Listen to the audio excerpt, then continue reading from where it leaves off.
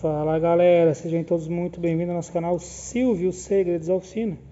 No vídeo de hoje, pessoal, barulho na suspensão traseira do Kia Soul. Bucha do amortecedor, pessoal, inferior, ó. olha como tá brilhando lá dentro, ó. E ela é uma bucha que ela tem um encaixe diferente lá, ó. Aquele brilho lá, pessoal, onde tá batendo, ó, de tanto que tá batendo, ó. Chegou a limpar a peça, ó. Daí eu tirei aqui a buchinha fora, ó.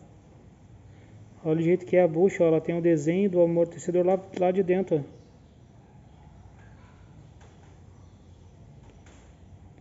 Quer dizer, não tem essa bucha aqui para vender, eu acho. eu não cheguei a olhar, só pesquisando.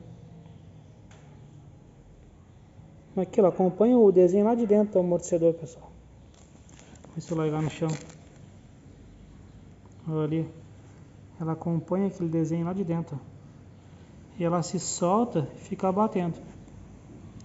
E também tirei a coluna fora da direção para trocar uma estrelinha, uma bucha que vai lá na, no motor da coluna da direção, pessoal, que bate pra caramba também quando, quando tu liga o carro principalmente. Mas a dica é essa aqui, a barulho na suspensão traseira.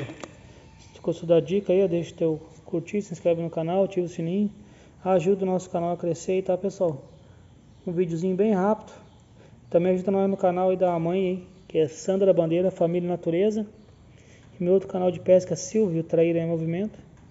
O meu sobrinho Nolan Criatividades e o meu irmão fabrica iscas artificiais para traíra, que é a Turbo Iscas. Ajuda nós daí que nós te ajudamos daqui, pessoal. Forte abraço e valeu!